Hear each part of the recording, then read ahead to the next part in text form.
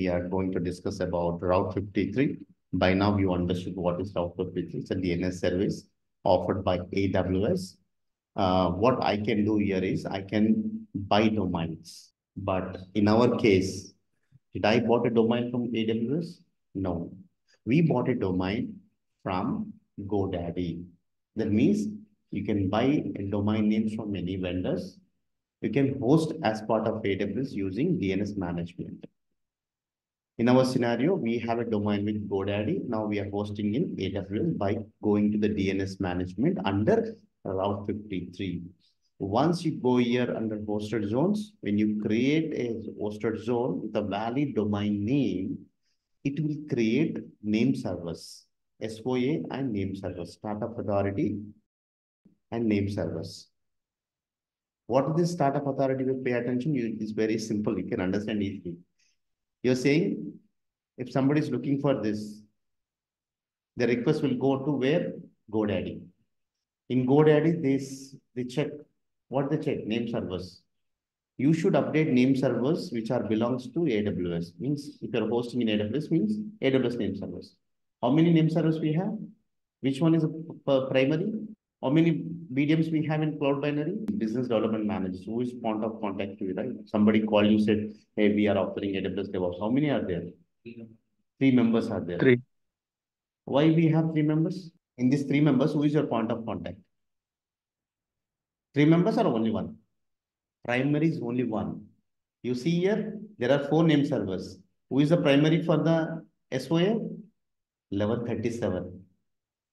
1137 is a primary. If primary is not feeling well, they are not coming to office. Secondary will be the point of contact. Even secondary, third one, even third one, fourth one. That means high availability. What is there in SOA? Nothing. Point of contact. So SOA has pointing to the primary name server. The primary name server goes down. There are three more name servers are there. This is called achieving high availability. So this information you will update as part of GoDaddy. Now, customer is looking for you. How? Using a record. What is the CNAME? You understood how to create a certificate, SSL certificate. So this has SSL certificate. Now in this a record, whom you're pointing it? You pointed EC2 instance. You pointed load balancer, application load balancer. You pointed network load balancer. Now you're pointing to S3 bucket, CloudFront, and container. Like that, you can point it with the A record. Now I'll delete this A record. I'm deleting A record. So when I was creating this A record, it was simple routing policy. What you understood is simple routing. AWS has a Route 53 service. They have routing policies.